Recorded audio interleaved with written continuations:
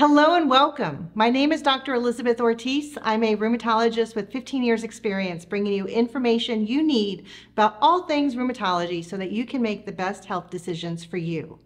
Today we are talking about a condition you don't often find much information about on the interwebs. That's Behçet's disease. Well, we are going to get into all the details here, so stick around.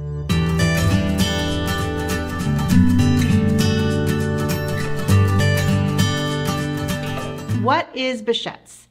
Behçet's is a systemic, meaning it affects the entire body or system, vasculitis. This means that at its core, it's a condition of blood vessel inflammation. The blood vessels can be veins or arteries, big or small. Vasculitis is an umbrella diagnosis that includes all different types of conditions, and Behçet's is just one of them. Behçet's is particularly interesting in that a little geography and history knowledge is helpful when figuring out if someone has it. Behçet's prevalence is highest in those living or historically from the area known as the Silk Road. The Silk Road isn't actually a road, but instead a web of routes used for trade from the 100s BCE to 1400 CE. These routes ran from China to Europe, extending about 4,000 miles. Items that were transported were, of course, silk, but also jade, porcelain, tea, spices, horses, and glassware. Along with these tangible goods, this path was our first step in globalization as ideas, information, and innovation, and even infection were also traded along this route. Even if you've never heard of the Silk Road, you've probably heard of one of its most famous travelers, Marco Polo. And yes, Behçet's is named after someone. Hulusi Behçet first published his findings of what he called a triple symptom complex of oral or genital ulcers, eye inflammation, and skin lesions in 1936, and then it was formally recognized as a thing in 1947. Although Behçet's can be seen in anyone, to this day, it is much more likely in those either along the Silk Road or ethnically related to this region. Behçet's is a condition of youth to midlife, meaning the vast majority of those diagnosed are between 15 and 45 years old. Although seen both in men and women equally, when men get it, they tend to have it worse. So why do some people get Behçet's? Unfortunately, like most of my autoimmune conditions, I don't have a satisfying answer. The general idea right now is that a predisposed person is exposed to certain triggers that then kickstarts this inflammatory cascade that leads to Behçet's. So what are the possible triggers? Well, exposure to infections, histamine-releasing foods such as citrus, nuts, and cheese, poor oral hygiene, and stress have all been implicated but any particular person's triggers may be different than someone else's.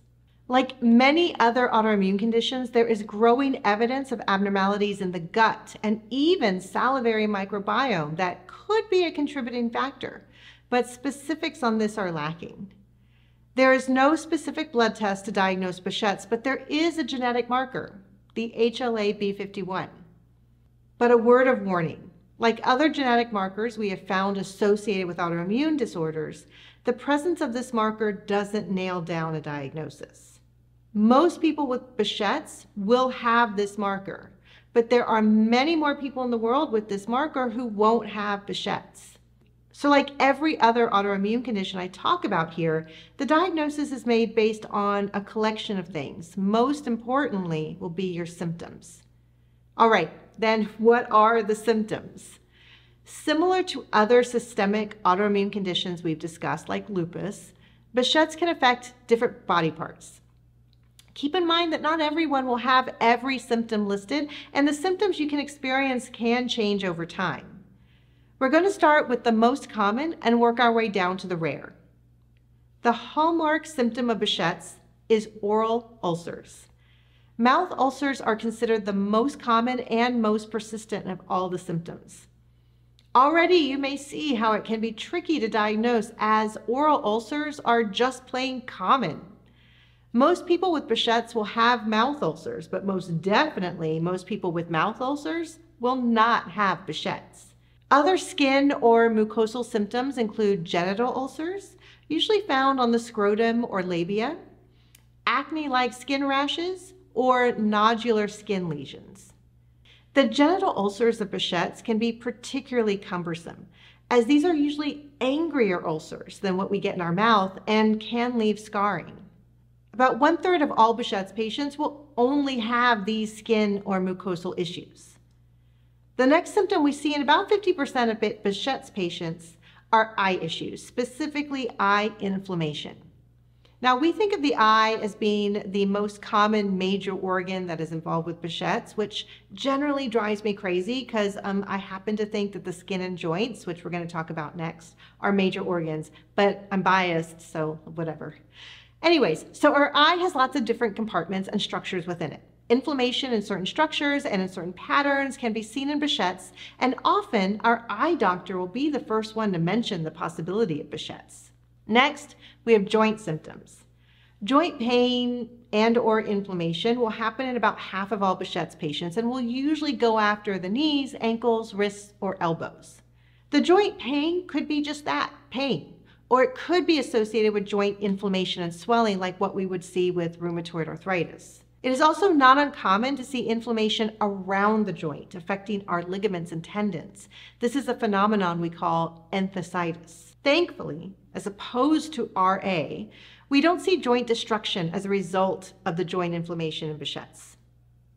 The next symptoms are thankfully more rare, although they can also be more serious.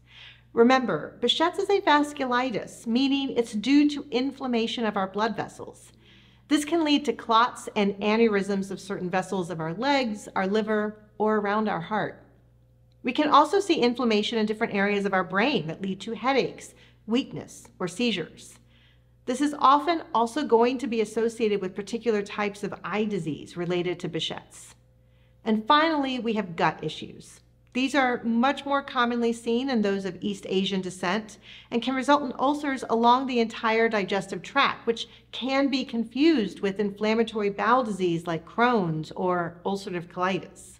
So what do we do about Behçet's? How do we treat it once we have made a diagnosis? The approach to anyone with Behçet's is going to be very personalized to any particular person's collection of symptoms and it may require a multidisciplinary approach. This simply means you likely will need a team of providers. This could include your rheumatologist, ophthalmologist, and maybe even a dermatologist or neurologist. The goal of treatment is to get control of the inflammation as quickly as possible to prevent relapses and any irreversible organ damage. Remember, healed inflammation can leave a scar. If an organ has suffered enough inflammation and left enough scarring, that organ may now not function at 100%. So we try to get ahead of this. Now, this is obviously an oversimplification, and each condition and organ has a different risk of this happening, but generally, this is our approach and strategy with most autoimmune conditions. We want to stop the inflammation now to prevent all the downstream problems that inflammation and scarring can cause. So how do we know when treatment is working? Again, this is going to be very personal.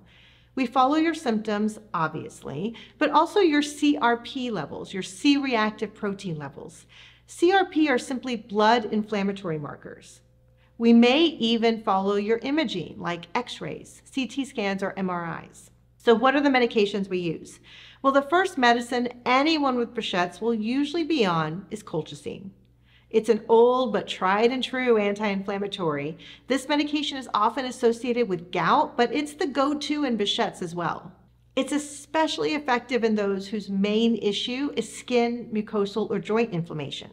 Colchicine can be used along with topical steroids, which come in lots of different varieties.